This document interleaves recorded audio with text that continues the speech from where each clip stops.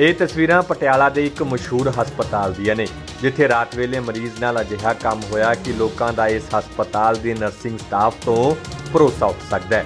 ਤਸਵੀਰਾਂ ਤੁਸੀਂ ਦੇਖ ਸਕਦੇ ਹੋ ਕਿ ਇੱਕ ਨਰਸ ਕੁੜੀ ਆਪਣੀ ਡਿਊਟੀ ਵਾਲੀ ਕੁਰਸੀ ਤੇ ਬੈਠੀ ਹੈ ਅਤੇ ਇੱਕ ਮਰੀਜ਼ ਆਪਣੇ ਬੈੱਡ ਤੇ ਪਿਆ ਹੈ।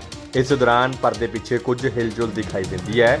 ਕੁੜੀ ਜਦੋਂ ਪਰਦਾ ਚੁੱਕਦੀ ਹੈ ਤਾਂ ਉਸਦੇ ਹੋਸ਼ ਫਾਖਤਾ ਹੋ ਜਾਂਦੇ ਨੇ, ਕਿਉਂਕਿ ਕੁੜੀ ਦੇ ਨਾਲ ਵਾਲਾ ਹਸਪਤਾਲ ਦਾ ਸਟਾਫ ਮਰੀਜ਼ ਨਾਲ ਅਜਿਹਾ ਕੰਮ ਕਰ ਰਿਹਾ ਹੁੰਦਾ ਹੈ ਜਿਸ ਦੀ ਇਹ ਕੁੜੀ ਜਾਂ ਇਸ ਦੇ ਰਿਸ਼ਤੇਦਾਰ ਕਦੇ ਕਲਪਨਾ ਵੀ ਨਹੀਂ ਕਰ ਸਕਦੇ। ਜ਼ਰਾ ਦੇਖੋ, ਇਹ ਸਾਰੀ ਵੀਡੀਓ ਹਸਪਤਾਲ 'ਚ ਰਾਤ ਵੇਲੇ ਮਰੀਜ਼ ਨਾਲ ਕੁੜੀ ਦੇ ਸਾਹਮਣੇ ਕੀ ਹੋਇਆ।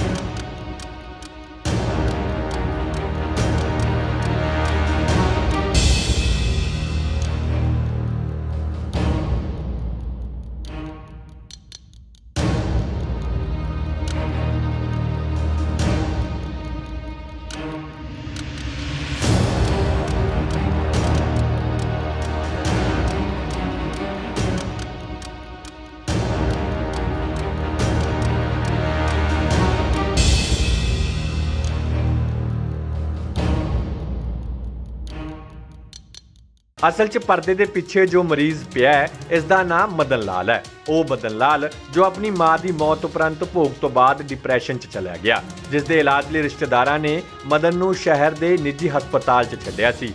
ਪਰ ਹਸਪਤਾਲ ਸਟਾਫ ਨੇ ਉਸ ਰਾਤ ਮਦਨ ਲਾਲ ਨਾਲ ਕੀ ਕੀਤਾ, ਇਹ ਉਸ ਦੇ ਰਿਸ਼ਤੇਦਾਰ ਤੋਂ ਹੀ ਸੁਣ ਲਓ। ਤਰੀਕ ਨੂੰ ਨਾ ਭਾਬੀ ਜੀ ਦੀ ਡੈਥ ਹੋ ਗਈ ਸੀ ਜੀ। ਜਿਹੜਾ ਪੇਸ਼ੈਂਟ ਆ ਉਹਦੀ ਮਾਤਾ ਦੀ ਜੀ। 18 ਤਰੀਕ ਨੂੰ ਸਾਡਾ ਭੋਗ ਸੀ ਜੀ 19 ਨੂੰ ਮੁੰਡਾ ਸਾਡਾ ਡਿਪਰੈਸ਼ਨ ਚ ਆ ਗਿਆ ਜੀ, ਇਸੇ ਕਾਰਨ। ਡਿਪਰੈਸ਼ਨ ਚ ਆਉਣ ਕਰਕੇ ਅਸੀਂ ਪ੍ਰਾਈਮ ਹਸਪੀਟਲ 'ਚ ਲੈ ਕੇ ਆਏ ਜੀ, ਜਿਹੜਾ ਬਡੂੰਗਰ ਰੋਡ ਤੇ ਆ, ਖਾਲਸਾ ਕਾਲ ਦੇ ਸਾਹਮਣੇ ਜੀ। ਅਸੀਂ ਉੱਥੇ ਐਡਮਿਟ ਕਰਾ ਦਿਆ ਜੀ 21 ਤਰੀਕ ਨੂੰ। ਸ਼ਾਮ ਨੂੰ ਸਾਡਾ ਮੁੰਡਾ ਬਿਲਕੁਲ ਠੀਕ ਹੋ ਗਿਆ ਸੀ ਜੀ। ਕੋਈ ਜ਼ਿਆਦਾ ਉਹਨੂੰ ਕੋਈ ਪ੍ਰੋਬਲਮ ਨਹੀਂ ਸੀ ਜੀ। ਬਿਲਕੁਲ ਆਰਾਮ ਨਾਲ ਚਾਹ ਪਾਣੀ ਪੀ ਰਿਹਾ ਸੀ ਜੀ। ਅਸੀਂ, ਮੈਂ ਘਰ ਚਲਾ ਗਿਆ। ਬਾਕੀ ਮੈਂਬਰ ਇੱਥੇ ਜਿਹੜੇ ਹੈਗੇ ਸੀ, ਸਾਡੇ ਪਰਿਵਾਰ ਦੇ ਇੱਥੇ ਰਹਿ ਗਏ ਸੀ ਜੀ। 21 ਤਰੀਕ ਨੂੰ ਸਵੇਰੇ ਜੀ, ਅਸੀਂ, ਸਾਡਾ ਮੁੰਡਾ ਉਹਨੂੰ ਮਿਲਣ ਗਿਆ। ਉਹ ਕਹਿੰਦਾ ਵੀ ਮੇਰੇ ਨਾਲ ਮਾਰਕੁੱਟ ਕੀਤੀ ਹੈ ਜੀ ਇਹਨਾਂ ਨੇ। ਅਸੀਂ ਜਦ ਮਾਰਕੁੱਟ ਦੀ ਗੱਲ ਆਈ ਅਸੀਂ ਡਾਕਟਰ ਨੂੰ ਕਿਹਾ ਵੀ ਅਸੀਂ ਇਹ ਕਾਰਨ ਕੀ ਹੋਇਆ ਵੀ ਰਾਤ ਤੁਸੀਂ ਸਾਨੂੰ ਕਿਹਾ ਸੀ ਵੀ ਮੁੰਡਾ ਬਿਲਕੁਲ ਠੀਕ ਆ ਕੋਈ ਦਿੱਕਤ ਨਹੀਂ ਵੀ ਸਵੇਰੇ ਤੁਸੀਂ ਛੁੱਟੀ ਕਰਾ ਲਿਓ। ਹਾਂਜੀ? ਬਿਲਕੁਲ। ਵੀ ਸਵੇਰੇ ਇੰਨੀ ਜਲਦੀ ਕੀ ਹੋਗਾ ਕਹਿੰਦੇ ਜੀ ਐਸਾ ਕੁਝ ਨਹੀਂ ਹੋਇਆ ਵੀ ਇਹਦੇ ਨਾਲ ਥੋੜੇ ਜਿਹੇ ਪੇਟ ਦੇ ਟੈਸਟ ਕਰਾਣੇ ਪੈਣੇ ਆ ਤੁਹਾਨੂੰ। ਮੈਂ ਕਿਹਾ ਵੀ ਪੇਟ ਦਾ ਕੀ ਹੋ ਗਿਆ ਹੁਣ ਮਸਲਾ? ਚਲੋ ਜੇ ਕਰਾਣੇ ਆ ਕਰਾ ਲਾਂਗੇ ਜੀ ਕੋਈ ਗੱਲ ਨਹੀਂ। ਪਰ ਜਦੋਂ ਮਾਰਕੁੱਟ ਦੀ ਗੱਲ ਸਾਹਮਣੇ ਆ ਗਈ ਜੀ ਫਿਰ ਸਾਨੂੰ ਡਾਊਟ ਹੋ ਗਿਆ ਵੀ ਕੁਛ ਨਾ ਇਹ ਵਧਾਉਣਾ ਚਾਹੁੰਦੇ ਆ ਜੀ ਇਸ ਪੇਸ਼ੈਂਟ ਨੂੰ। ਵੀ ਸਾਨੂੰ 10 ਦਿਨ ਹੋਰ ਰੱਖਣਾ ਚਾਹੁੰਦੇ ਆ ਜੀ। ਫਿਰ ਅਸੀਂ ਜਾ ਕੇ ਉਹਨਾਂ ਨਾਲ ਗੱਲ ਕੀਤੀ ਤੇ ਸੀਨੀਅਰ ਡਾਕਟਰ ਹੈਗੇ ਜੀ ਡਾਕਟਰ ਰਾਣਾ ਇੰਦਰਜੀਤ ਰਾਣਾ। ਜੀ ਔਰ ਡਾਕਟਰ ਹਰਸ਼ਵਰਧਨ ਜੀ ਉਹਨਾਂ ਨਾਲ ਗੱਲ ਕੀਤੀ ਜੀ। ਮੈਂ ਕਿਹਾ ਜੀ ਇਸ ਤਰ੍ਹਾਂ ਕਰਕੇ ਸਾਡਾ ਪੇਸ਼ੈਂਟ ਕਹਿ ਰਿਹਾ ਵੀ ਸਾਡੇ ਨਾਲ ਮਾਰਕਟਾਈ ਹੋਈ ਹੈ ਜੀ ਰਾਤ। ਔਰ ਥੋੜੇ ਸੀਸੀਟੀਵੀ ਉੱਥੇ ਲੱਗੇ ਹੋਏ ਨੇ ਤੁਸੀਂ ਪਤਾ ਕਰੋ ਉਹਨਾਂ ਨੇ ਜੋ ਸਾਨੂੰ ਟਾਈਮ ਦਿਆ ਵੀ ਤੁਸੀਂ ਕਹਿੰਦਾ ਥੋੜੀ ਦੇਰ ਬਾਹਰ ਬੈਠ ਜਾਓ ਤੁਸੀਂ ਚੈੱਕ ਕਰ ਲਿਓ ਚੈੱਕ ਕਰਕੇ ਉਹ ਜਦੋਂ ਉਹਨੇ ਕਿਹਾ ਵੀ ਇਹਦਾ ਇਹਨਾਂ ਦਾ ਸਾਡਾ ਇੱਥੇ ਕੋਈ ਉਹ ਐਸੀ ਗੱਲ ਨਹੀਂ ਹੋਈ ਹੈਗੀ ਵੀ ਇਹ ਤੁਹਾਡਾ ਬਲੇਮ ਹੀ ਹੈ ਜੀ। ਚਲੋ ਅਸੀਂ ਕਿਹਾ ਵੀ ਕੋਈ ਗੱਲ ਨਹੀਂ ਸਾਨੂੰ ਦਿਖਾਓ ਜੀ ਤੁਸੀਂ। ਦਿਖਾਉਣ ਤੋਂ ਬਾਅਦ ਆ ਸਾਹਮਣੇ ਆ ਗਿਆ ਉਹ ਮੰਨੇ ਨੇ ਜੀ।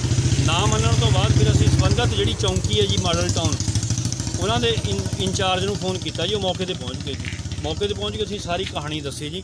ਕਹਾਣੀ ਦੱਸ ਕੇ ਉਹਨਾਂ ਨੇ ਸਾਨੂੰ ਸਾਹਮਣੇ ਬਿਠਾ ਲਿਆ ਜੀ। ਜਦ ਫੁਟੇਜ ਕੱਢੀ ਜੀ ਉੱਥੇ ਉਹ ਸਾਡੇ ਪੇਸ਼ੈਂਟ ਦੀ ਮਾਰਕੁੱਟ ਹੋ ਰਹੀ ਹੈ ਜੀ ਬੜੀ ਬੁਰੀ ਤਰ੍ਹਾਂ ਦੀ। ਸੀਸੀਟੀਵੀ ਚ ਸੀਸੀਟੀਵੀ 'ਚ। ਸ਼ਰਮਾ ਜੀ ਉਹ ਫੁਟੇਜ ਮਿਲੀ ਹੈ ਤੁਹਾਨੂੰ ਦਿੱਤੀ ਉਹ? ਸਾਨੂੰ ਫੁਟੇਜ ਨਹੀਂ ਜੀ ਉਹ ਆਪਣੇ ਐਸਓਚਓ ਸਾਹਿਬ ਕੋਲ ਹੈਗੀ ਇੰਚਾਰਜ ਕੋਲ ਹੈਗੀ ਜੀ। ਹੁਣ ਤੁਸੀਂ ਕਿ ਉੱਥੋਂ ਲੈ ਆਏ ਆਪਣੇ ਬੰਦੇ ਨੂੰ?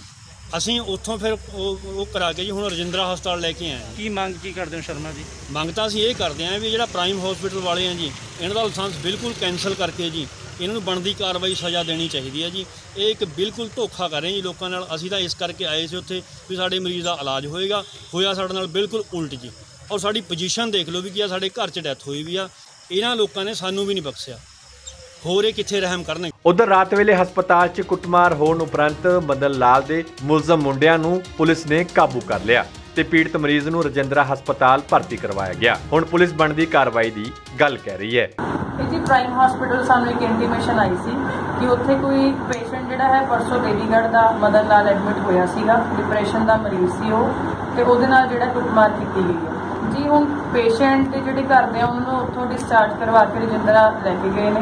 ਜਿੱਦਾਂ ਦੀ ਐਮਐਲਆਰ ਕੱਟ ਕੇ ਕੋਈ ਡਾਕਟਰ ਦੀ ਜਿਹੜੀ ਇੰਟੀਮੇਸ਼ਨ ਆਊਗੀ ਐਮਐਲਆਰ ਚ ਜੋ ਜੋ ਜਿਵੇਂ ਜਿਵੇਂ ਸੱਟਾਂ ਹੋਣਗੀਆਂ, ਉਸ ਹਿਸਾਬ ਨਾਲ ਕਾਰਵਾਈ ਕੀਤੀ ਫਿਲਹਾਲ ਕਰੋਨਾ ਵਾਇਰਸ ਦੇ ਡਰੋਂ ਲੋਕ ਪਹਿਲਾਂ ਹੀ ਹਸਪਤਾਲ ਜਾਣ ਤੋਂ ਡਰੇ ਹੋਏ ਨੇ, ਪਰ ਸ਼ਹਿਰ ਦੇ ਇਸ ਹਸਪਤਾਲ ਦੀਆਂ ਤਸਵੀਰਾਂ ਨੇ ਇਸ ਡਰ ਨੂੰ ਹੋਰ ਡੂੰਘਾ ਕਰ ਦਿੱਤਾ ਹੈ। ਹੁਣ ਪੁਲਿਸ ਨੂੰ ਚਾਹੀਦਾ ਹੈ ਕਿ ਮਰੀਜ਼ ਨਾਲ ਗਲਤ ਕੰਮ ਕਰਨ ਵਾਲੇ ਮੁੰਡਿਆਂ ਨੂੰ ਅਦਾਲਤ ਤੋਂ ਸਖਤ ਤੋਂ ਸਖਤ ਸਜ਼ਾ ਦਵਾਈ ਜਾਵੇ।